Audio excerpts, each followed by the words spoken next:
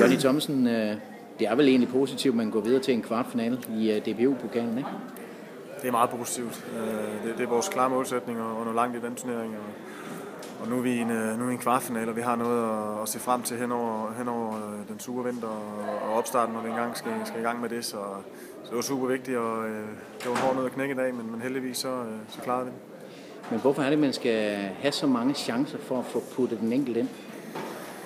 Ja, men det, det har været lidt vores øh, det kan man sige, akilleshæl her, i, i hvert fald i starten af sæsonen. Og, og det, sådan var det også lidt i dag, men, men øh, det er i hvert fald ikke, fordi vi ikke får, får produceret nok, som du også selv er inde på. Men, men øh, vores angriber gør, som, som, som de skal, og vi har, vi har en rigtig god bredde i truppen, og dem, der kommer ind, de, øh, de er med til at afgøre det også.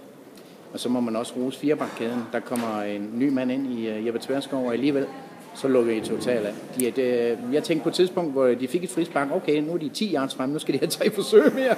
De var jo næsten aldrig oppe i jeres halvdel.